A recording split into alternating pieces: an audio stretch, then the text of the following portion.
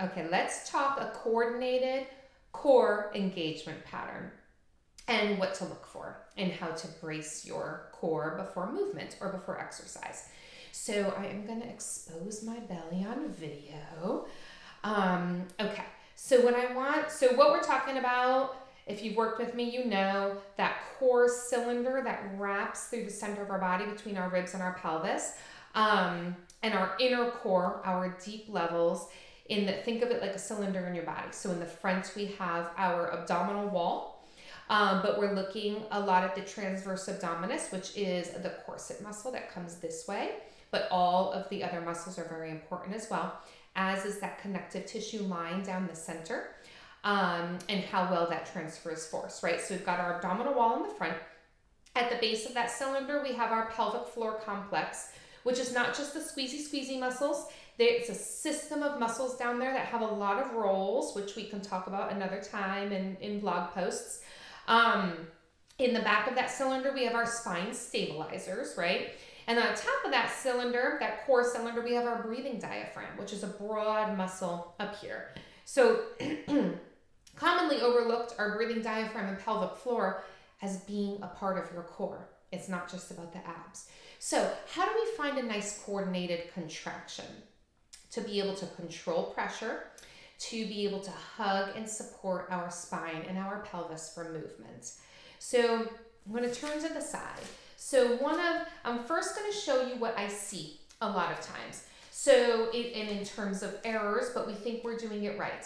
So, one is to kind of suck in or zip up really hard from the bottom, but forget about the top. So that, bear with me if I kind of kind of do it, but that looks like this. So, right? So we're sucking in really hard. We're got all this on, and our rib cage is flared open because we have forgotten to close that umbrella, right?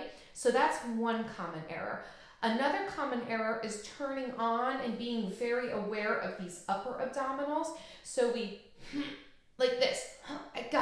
And then we get this doming in our lower abdomen and this real strong activation up here, okay?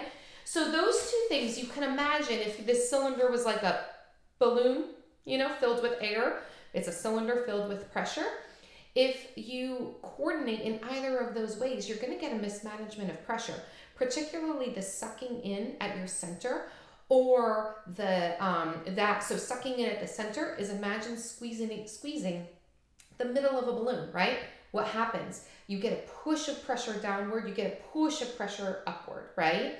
Um, when you over engage your upper abs and get that crunch in your rib cage and that doming down here, you're squeezing the top of that balloon. So imagine all the pressure comes down, right?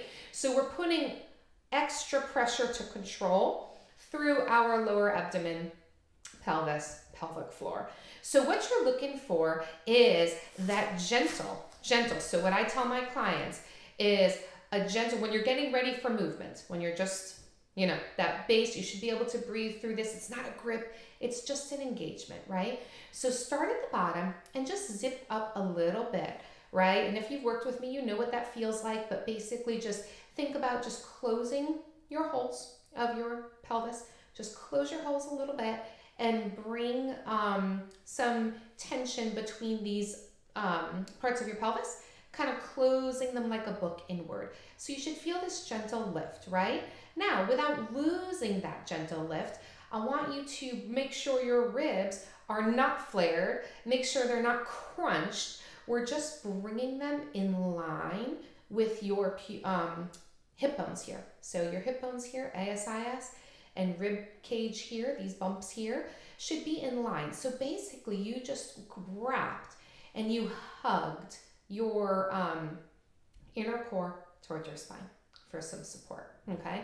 Easy to do when you're pregnant. Well, not easy to do when you're pregnant, but easy to think about because I want you to hug baby. Or if you've been pregnant, think about that. Okay, I'm gonna hug baby, right? So you get that full coordinated, right? That zipping in. Now, you should be able to breathe here. That's just ready for movement. When you're laying down, you should feel a gentle grounding, not a pushing, but you should feel your lower ribs are grounded and your hips and your pelvis, your sacrum are grounded, right? Little tiny natural curve in your low back. That is that coordinated core contraction. And then when you go to move, now we're not going to lose this. So a lot of times, imagine me lying down. If I was going to go lift my leg, right? Sometimes I'll go pop with my ribs to lift my leg, but that is no good. So you keep that grounding, you keep that wrap, and then you isolate a movement with your exhale, right? But this is our base position. When you feel like you're losing it, that's how you know, okay, is my body controlling this exercise well or is it not? that is how you know your level and when you need to modify and what you're safe doing. When you can feel, okay, I've got it, I got that, I have that grounding, everything's in line, I have that nice zip up and wrap here, not aggressive, and I'm able to hold it.